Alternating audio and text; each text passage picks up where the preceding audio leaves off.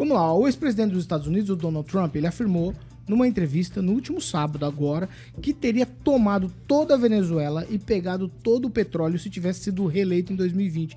Ele criticou também a compra lá da commodity venezuelana. Abro aspas para Donald Trump. Quando eu saí, a Venezuela estava prestes a colapsar.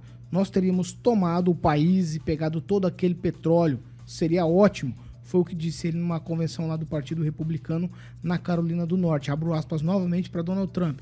Agora estamos comprando o petróleo da Venezuela, então estamos enriquecendo um ditador. Vocês acreditam?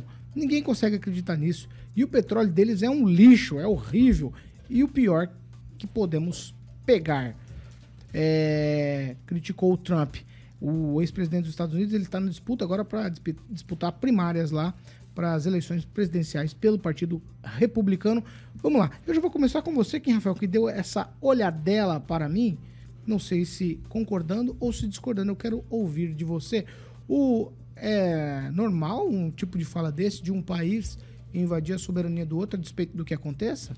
É, convenhamos que os Estados Unidos ele é, é assim, é, não gostou de um país, realmente é, há uma pressão é muito tipo grande. A Rússia, até, tipo, até tipo porque a Rússia é com a Ucrânia? É a potência, a maior tipo potência a Rússia hoje. com a Ucrânia? É possível. Faz o que quer é com possível, quem é menor? É possível, é possível, sim. De forma econômica, sim. Mas na Rússia nós temos que considerar que há um contexto histórico por trás. Né? A Ucrânia, enfim, há um, é um pupilo da Rússia há muito tempo.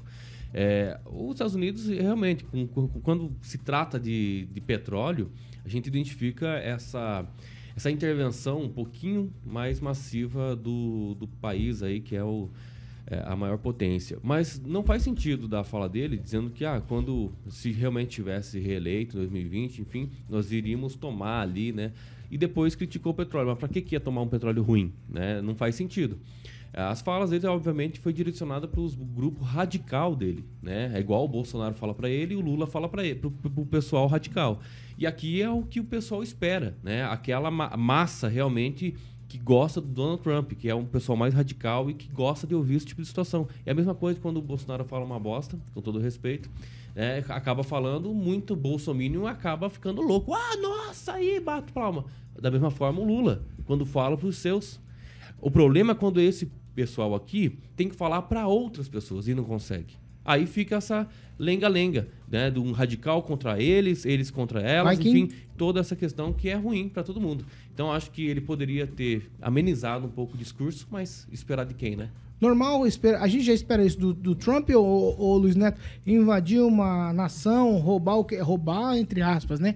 Tomar o que eles têm, que é o que o presidente, ex-presidente americano afirmou aqui nessa palestra?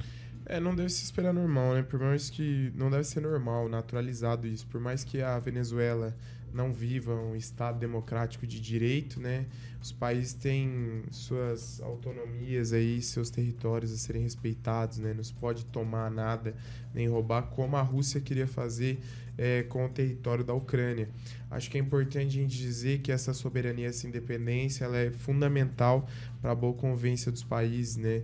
E quando se coloca aí essa possibilidade de tomar um, um, um patrimônio venezuelano, por que não tomar a Amazônia do Brasil? Por que não tomar outras eventuais é, recursos energéticos de outros países, né? Aí a gente coloca em xeque todo, todo o pacto existente no mundo para que as nações convivam é, em harmonia. Mas sobre o Trump, eu vou, eu vou discordar um pouquinho assim no, no meu colega na questão do que se esperar dele que se espera, Paulo, é um, é um discurso moderado para quem quer ser candidato novamente à presidência e não perder a eleição novamente, né?